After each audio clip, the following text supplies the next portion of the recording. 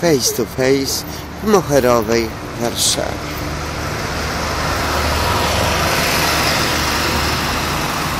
Już nie będziemy nic dokładnie pokazywać. Ale